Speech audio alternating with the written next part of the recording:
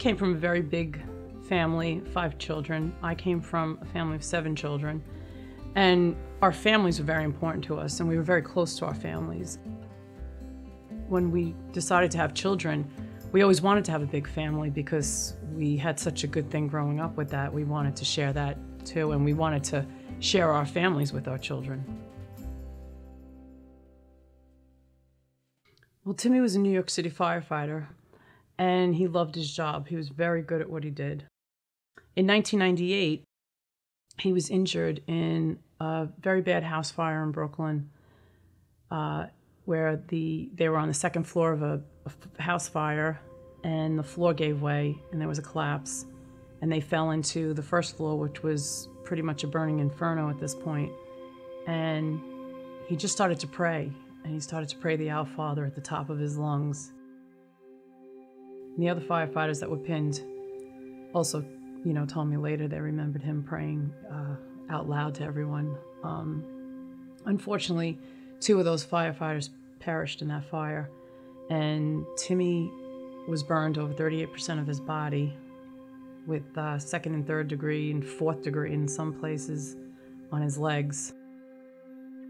The night he was taken to the hospital, they put him in an ambulance, and our good friend Mike, who's a fireman, got in with them, and Father Michael Judge, who was a Franciscan fire chaplain from New York City Fire Department, um, climbed in the ambulance with them as well. Our friend Mike took a rosary out of his pocket and placed it in Timmy's hand, and the three of them prayed the rosary together in the in the ambulance on the way to the burn center in New York. This was how he lived his life every day. He believed in God. He believed God was with him in what he did. You know, he prayed for the right choices, he prayed to make the right decisions in life. And he prayed to be brave. And within three years, he was approved to go back to work full duty. And they promoted him to captain in September of 2001. Um, and he was working his second tour as a captain on September 11th. Five, there was a plane that struck the building. The summary's only giving me a few units. You're going to have to give it to me over the radio. I'm ready to write. All right. Engine 211. He always called, and when things were on the news and things happened in the fire department, he would find a way to call or get a message to me that he was okay. And I didn't get a message that day. You have a second plane into the other tower of the tower trade center. Major fire. What? Copy, King. Okay. Manhattan calling call Fort David. Call Fort David, Manhattan. All right, be advised, you're report of a second plane.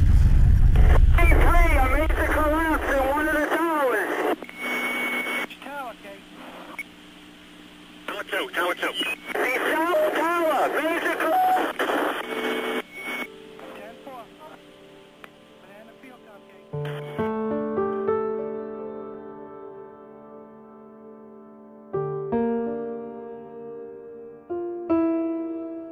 I remember having this overwhelming feeling that I had to sit down. I almost fainted when I saw that tower collapse on the news. And I I can't explain it, but I felt a disconnect. Like I had a feeling he was gone. But it was the most difficult thing. It was the most difficult night of my life to ever have to tell my kids that. Um but I knew um, that I had to. I had to find hope. There were a lot of people out there that were going to need hope. And I had to find a way to raise our children the way that Timmy and I set out to raise them together.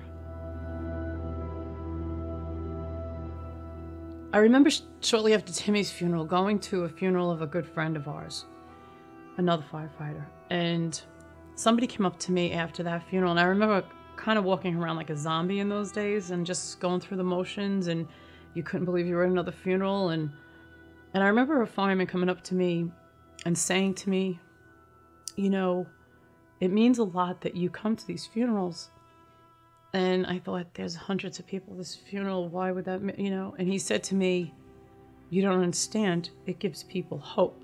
If you could come here and be here, we could all come here and be here and move on. And I'll never forget that because I thought that's such an important thing. And I thought, where do I get my hope from? Like, how do I have hope? Because I was heartbroken.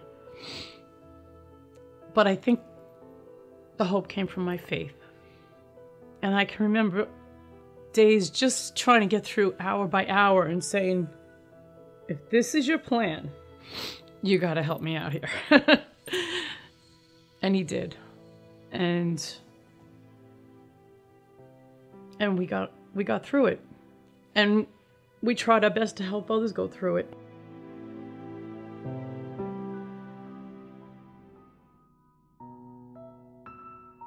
you know, family's not, it doesn't have to be the conventional, you know, family image that, that sometimes society portrays.